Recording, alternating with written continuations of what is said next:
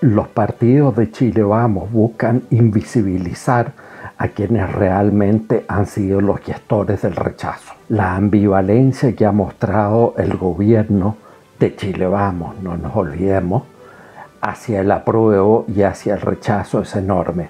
Algunos están por el apruebo, otros están por el rechazo. Y simplemente esto se debe a que quieren ganar en una opción o quieren ganar en otra. Es decir, no es por convicciones, no es por un planteamiento firme, no es por parar a la izquierda en Chile que quiere obtener un poder hegemónico.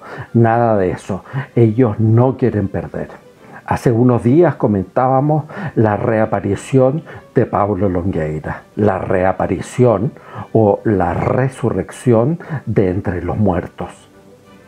Curiosamente, reaparece y habla a favor del apruebo, pisoteando todo el discurso que ha venido manteniendo la UDI y pisoteando las enseñanzas y el legado político intelectual de Jaime Guzmán. Y sin embargo, a los pocos días se da una vuelta de carnero que aún no ha sido suficientemente explicada. Y ahora dice o dijo, porque ya no se sabe con él, no hay consistencia en sus pensamientos, de que va por el rechazo. ¿Qué es esto? Estas no son convicciones, esto es buscar un acomodo político y ver de qué manera se puede ganar. Ganar en influencia, ganar en poder e ir acomodando la carga. Esto no es lo que le conviene a Chile, esto es lo que le conviene a él en primera instancia y lo que le conviene a su partido en segunda instancia. Y después, lo que es más grave, busca invisibilizar a quienes han sido los protagonistas del rechazo. Los protagonistas del rechazo son varios. Quizá, lamentablemente, no ha emergido un liderazgo claro. Por un lado está el Partido Republicano, liderado por José Antonio Cast, que ha tenido una postura monolítica. Por el otro lado está la Casa del Rechazo, eh, con Gonzalo de la Carrera y Gerardo Joffre como sus cabezas más visibles. Ellos mandaron a hacer una encuesta hace unos días donde había una ventaja del rechazo de un 53%. Y por último, y quienes a mi juicio son los más importantes, es la legión de youtubers y de nuevos líderes de opinión de nuevos actores de la llamada nueva derecha que han sido los que han sido más frontales, no solo en la opción del rechazo, sino que en el hecho de elaborar un verdadero contradiscurso a el asalto para contraponer al asalto de las ideas que vienen de la izquierda. Los canales de YouTube no los voy a mencionar porque ustedes más o menos conocen desde los más grandes a los más pequeños, desde los más eh, viscerales hasta los más intelectuales. Todos tienen una cabida acá porque hay una diversidad en un discurso que es absolutamente coherente y absolutamente monolítico. ¿Cuál es la guinda de la torta?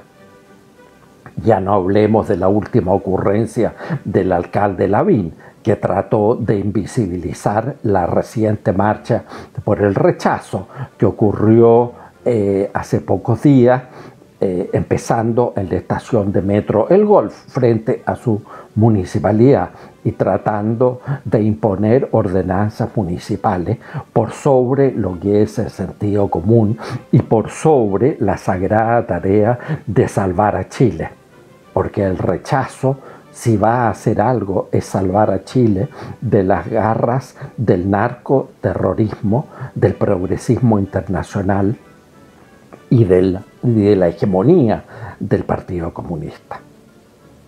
La guinda de la torta es que la UDI, para su franja electoral del rechazo, elige a una agencia de clara connotación de izquierda, por sus principales eh, eh, representantes, en desmedro de muchos otros creativos de derecha que esperan poder tener una oportunidad mayor de visibilizar sus esfuerzos. ¿Y por qué esto? Nuevamente, por la misma razón de Longueira, por la misma razón de la ambivalencia de Chile Vamos, se busca invisibilizar un sector político que emerge con fuerza.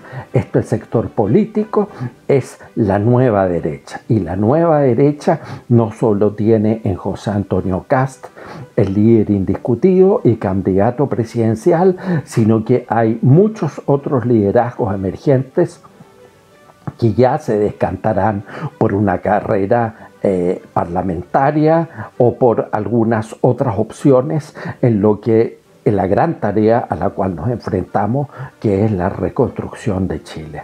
Porque no nos engañemos, de esta no vamos a salir, no vamos a sacar la barata. De esto vamos a salir con muchísimo esfuerzo, con mucha lucha, con mucho tesón y lo que es más importante, con una claridad de conceptos, sin buscar ventajismos, sin buscar eh, ganancias parciales o ganancias individuales.